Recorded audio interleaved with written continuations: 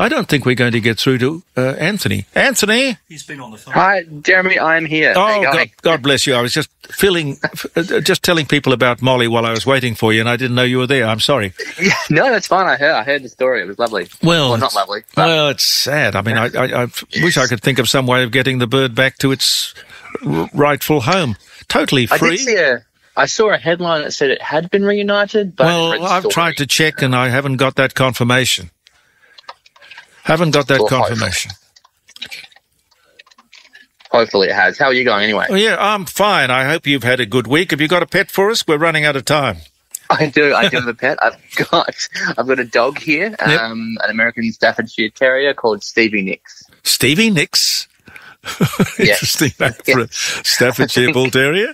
All right. Whoever, whoever named her must have been a fan. I think. All right. Uh, Um, but anyway, she is two. Um, she is the pro profile says large size, but I've met her. I would say she's more of a medium. Um, there's definitely some English staffing in there as well. Yep. Um, she's quite high energy. She loves people. She loves tennis balls.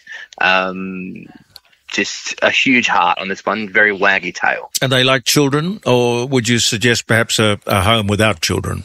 A home without children would be her preference, as well as a home without other dogs or cats. She um, Yep. she's lived with animals before, and we, we, she doesn't like it. Okay, no, that's fair enough. Uh, what colour is she? So she's a brindle. She's two years old, a brindle. How much? Uh, $150. And that's uh, vet checked, uh, desexed, uh, health Yep, health everything. health checked, and uh, Health checked, vaccinated, uh, microchipped, the lot. All right. No, that's wonderful. Always do the microchip thing. It's a great comfort. Absolutely, it is. We had a um, a woman pick up. She reclaimed her cat who had been lost for eight months during the week, and it was all because of the microchip. Yeah, no, it's a it's a wonderful uh, advancement. You never really lose a pet if you have it microchipped.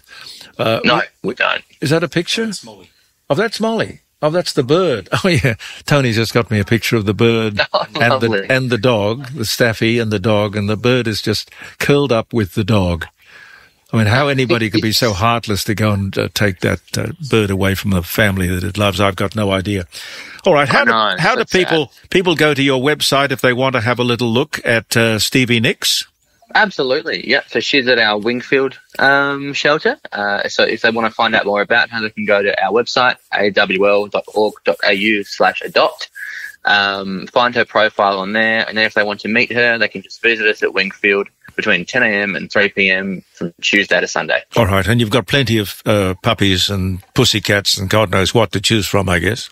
Hundreds, yes. we have almost almost 200 animals available for adoption. You've got a full house, I guess. Full Ah, house. we do. All Yes. right, all right, my friend Anthony. Thank you so much, um, Anthony Cochrane from the Animal Welfare League. Is it better to go to the website or to ring you? Either one, either one. Um, What's your number? Do you want to give the number?